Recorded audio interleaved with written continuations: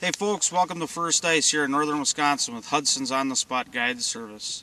It's been cold the past couple weeks and our lakes here have uh, finally frozen over. But the one thing that we always got to talk about when it comes to First Ice is ice safety.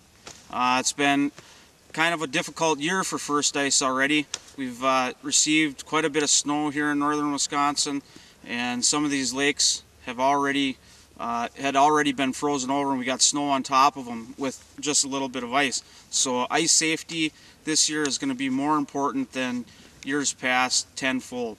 As you can see I'm wearing a life jacket, got my chisel underneath my life jacket here. I have uh, my ice picks and uh, on my boots I've got some ice cleats.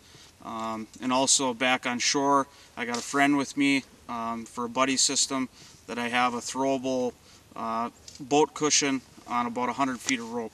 It's all important stuff here when we're dealing with first ice. I want to show you guys a couple things here that I'm looking at when I'm out checking for ice conditions on this lake. This is the fourth lake I've been to and I haven't I've only found one lake that's actually has fishable ice.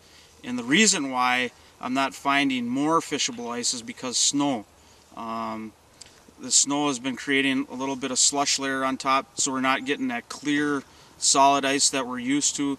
Where when it's uniform like that that three inches of ice is great. Um, we're also finding snow pack onto the ice and underneath that is that slush. So and there you only got about an inch ice. Um, the most ice I'm finding right now is about four to five inches and that's on clear solid ice that the snow hasn't permeated or it wasn't snowing in that area during the time that it was it, it was making ice um, we got a little bit of warm up coming here the next couple days, so it's going to hamper ice building conditions. And uh, some of the bigger lakes don't even have ice yet. So we're kind of right on schedule, uh, a little bit early, you know, when we started making ice, but we're right on schedule for the normal part of our ice making uh, season here in northern Wisconsin.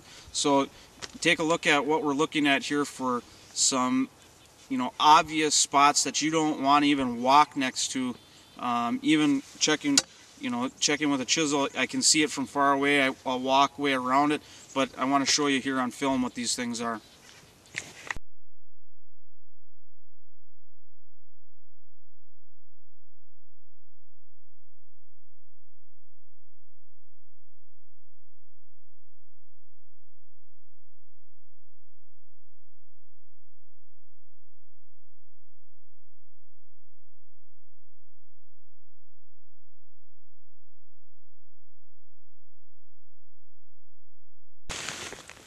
So you can see folks, there's many different uh, variables that we're looking at out here on First Ice.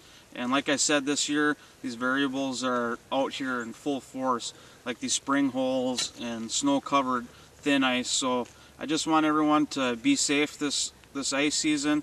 Um, you know, ice season is enjoyable, but you know, it's never fun when you fall through. So I hopefully you learned a little bit from this, you know, tip that we gave you today and good ice fishing. We'll see you on the ice.